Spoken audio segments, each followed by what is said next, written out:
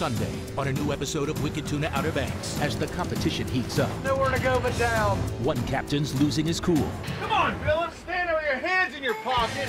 You're only as good as your mate. Come on. And his former first mate I fished with Greg a lot of years. We got one. He never even knew how to catch one until he went fishing with me.